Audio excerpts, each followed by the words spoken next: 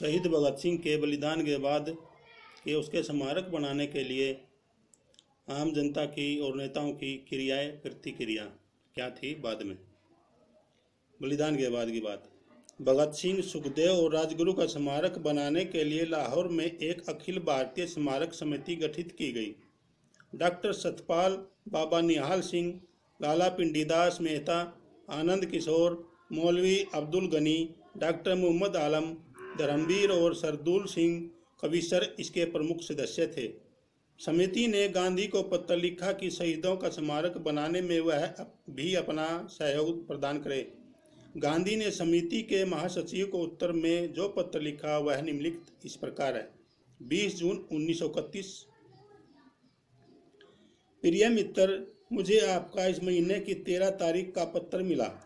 मैं आपके तर्क से बिल्कुल सहमत नहीं किसी के सम्मान में स्मारक बनाने का अर्थ यह होता है कि स्मारक बनाने वाले उनके कार्यों का अनुसरण करेंगे।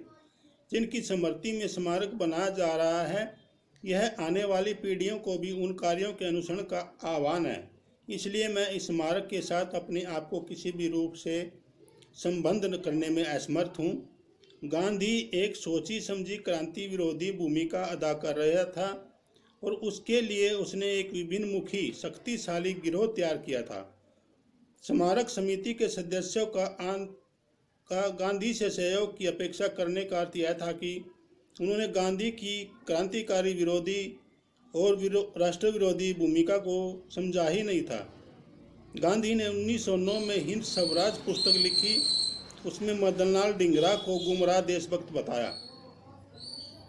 उसकी दृष्टि में तो अपने चारों पुत्रों, मित्रों और सर्वस्व देश के लिए बलिदान कर देने वाले गुरु गोविंद सिंह भी गुमराह देशभक्त थे। गांधी साहित्य में हमारी आज़ादी की लड़ाई धर्म के माध्यम से लड़ने वाले विवेकानंद का और अनुशीलन समिति की नींव रखने वाली उनकी शिष्या बहन निवेदिता तक का उल्लेख नहीं मिलेगा। गांधी का राजनीतिक बाल गंगाधर तिलक नहीं गोपाल कृष्ण गोखले उनके गुरु थे। गोखले ही की तरह गांधी ने भी आत्मसमर्पण पर आत्मसमर्पण का मार्ग अपनाया और हमारी क्रांतिकारी परंपरा को मिटाने का भरसक प्रयास किया। असल बात भगत सिंह और उनके साथियों का स्मारक बनाना नहीं, बल्कि उन्होंने जिस विचारधारा को प्रचारित प्रसारित करने के लिए असेंबली में बम फेंका, अदालत का मंच बनाया और भूख हड़ताल करके जान की बाजी लगाई, उसे अपनाना और विकसित करना था। फिर इतिहास के एक महत्वपूर्ण मोड़ पर उन्होंने जड़ता और गतिरोध को भंग करके क्रांति की जिन शक्तियों को गतिमान किया, उन्हें संगठित करना और दिशा प्रदान करना था। जय हिंद, वंदे मातरम। नमस्कार दोस्तों।